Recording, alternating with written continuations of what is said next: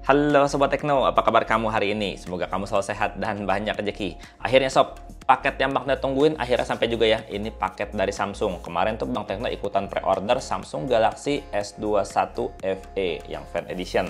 Di sini ada tulisan priority ya Sob ya. Ini langsung kita buka aja Sob ya.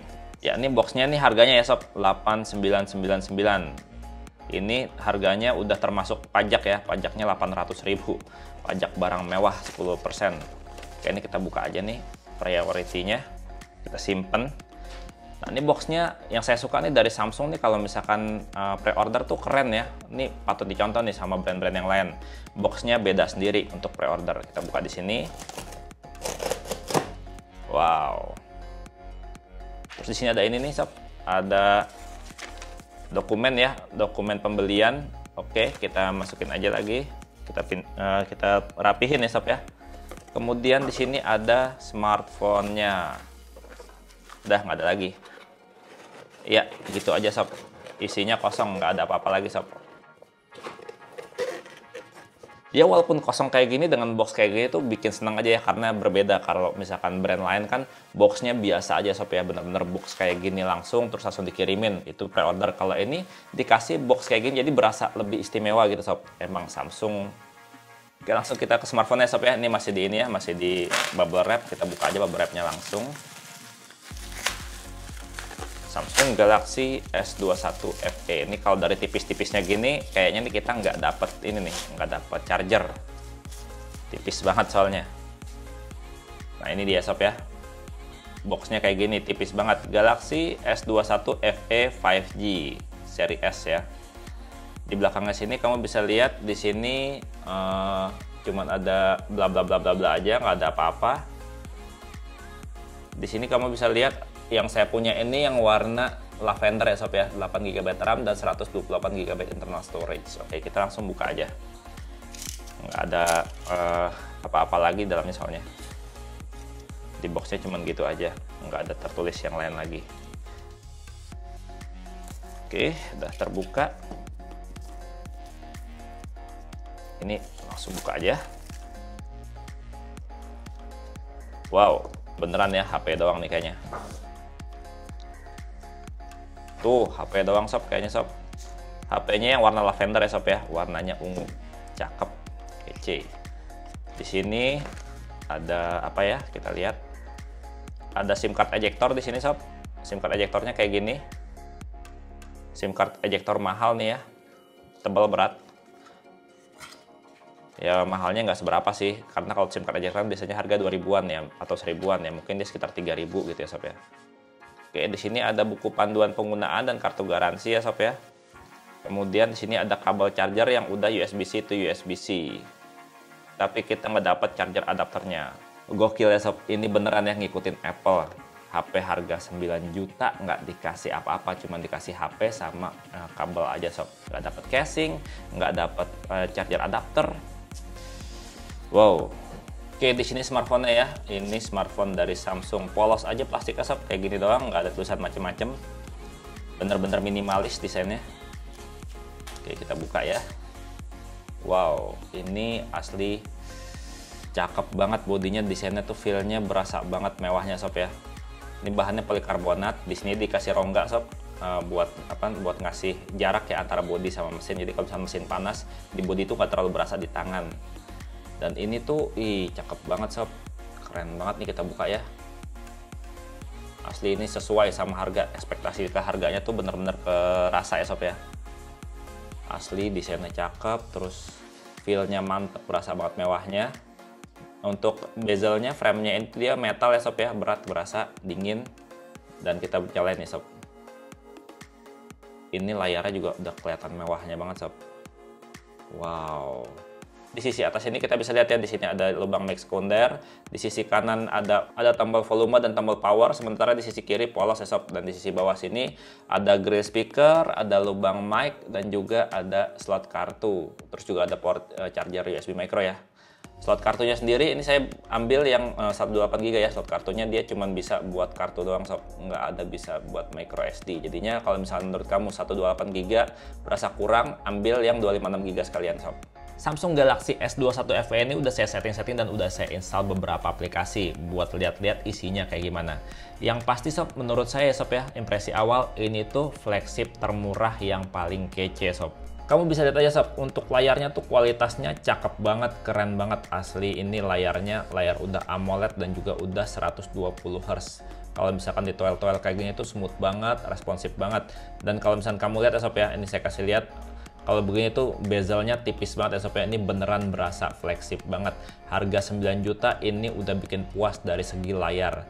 Terus kalau untuk eh, bodinya juga nih desainnya asli cakep, keren, kece banget sob. Ini berasa banget mahalnya, berasa banget premiumnya ya.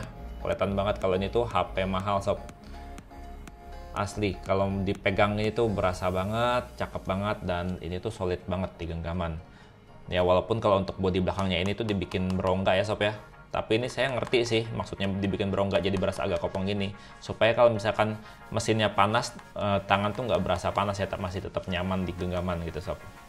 Nah untuk eh, UI-nya sendiri ini dia pakai Samsung UI ya sob ya. Pakai One UI-nya Samsung yang berasa banget mantepnya gitu ya keren banget. Terus di sini dia juga udah punya sensor yang namanya sensor NFC ini kalau saya lihat di sini ya. Kalau kita lihat di sini ada NFC-nya di sini Tuh ada sensor NFC ya. Jadi udah bisa buat baca-baca saldo kartu e-money. Bisa juga buat isi saldo sendiri gitu ya sob ya. Nah, sekarang saya mau kasih lihat lagi untuk performanya nih. Di sini performanya berdasarkan Antutu benchmark udah 506.900 sob. Ini udah kencang banget ya sob ya. Dia ini pakai Exynos 2100 yang udah kencang banget. Kamu bisa lihat sob. Tuh, uh, memorinya, memorinya 8 megapiksel ya sob ya.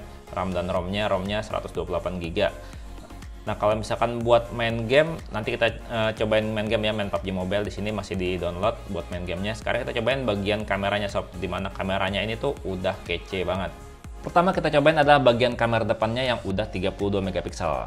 Nih kalau dibuka kamu bisa lihat ya di sini ada normal dan di sini ada wide. Sebenarnya nih uh, normalnya itu dia di crop sedikit ya sob ya. Sekarang kita cobain. Wih, cakep sob, bening banget. Sekali lagi, ini yang bagian wide-nya ya sob ya Wow, sekarang kita cobain untuk mode potretnya.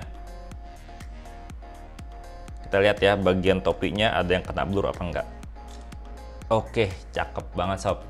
Nah, kalau untuk kamera belakangnya kita lihat di sini ya sob ya.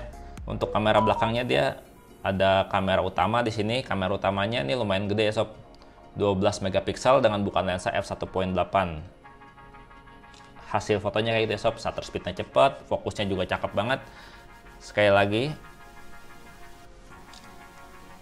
Wow, mantap. Nah, terus di sini dia juga punya kamera ultrawide ya, ultrawide 5 0,5 kali ultrawide-nya itu dia 12 megapiksel ya sob. Hasilnya kayak gini sob.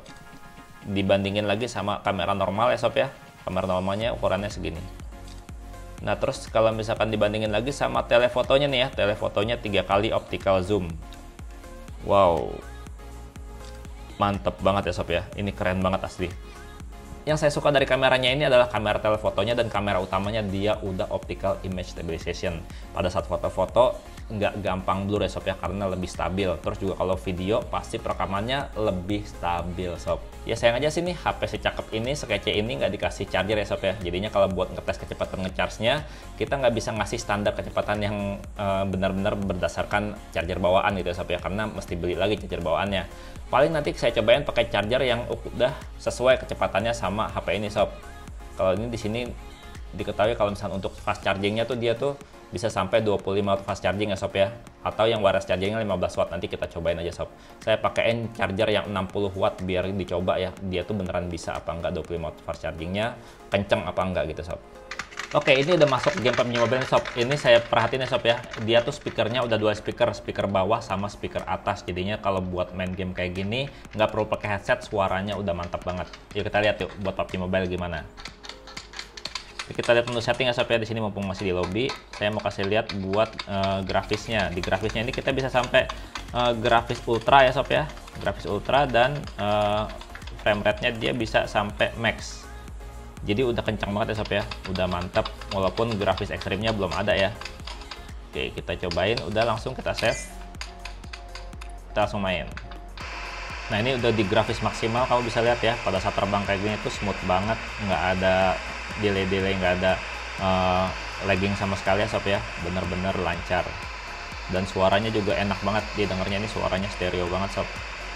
Dicoba buat lari juga nggak ada stuttering sama sekali ya sob ya. Ini lancar banget asli keren. Enak banget layarnya juga eh, stabil layarnya. Oke kita dapat senjata.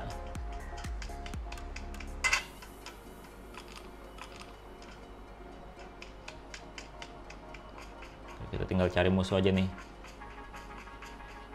enak banget sob buat main sob. Layarnya enak banget detailnya terus juga performanya juga stabil banget ya. Lancar banget dan grafisnya detail banget. Jadi kita looting dulu aja.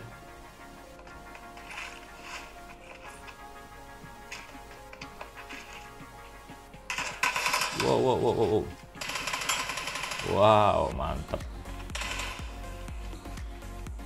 suara langkah musuh tuh kedengeran ya sob ya. Jadi nggak perlu khawatir kita tembak dari belakang gitu ya. Keren. Ngetes PUBG New State-nya nggak usah sampai habis ya sampai sini aja. Karena kalau sampai habis nanti durasinya kepanjangan sob. Yang pasti untuk impresi awal Samsung Galaxy S21 FE ini tuh mantep banget ya sob ya. Cocok banget pas banget kalau dibilang ini tuh flagship murah tapi ini nggak murahan. Yang beneran mewah banget ya sob ya dan kalau dibandingin sama punyanya Xiaomi ya sob ya. Xiaomi flagship termurahnya dia juga ya. Xiaomi 11T Pro ini tuh saya lebih prefer ini sob padahal ini masih impresi awal ya sob ya. Tapi dari impresi awal ini aja saya udah lebih milih dari Samsung Galaxy S21 FE dan untuk video reviewnya tungguin aja sob ya. Jangan ke mana-mana jangan lupa di subscribe channel YouTube Teknologi gue. Dan untuk video reviewnya mau dibahas apa aja jangan lupa komentar sob. Dan untuk pamit sampai jumpa di video berikutnya. Bye bye terus ini main Wah, ada musuh ada musuh ada musuh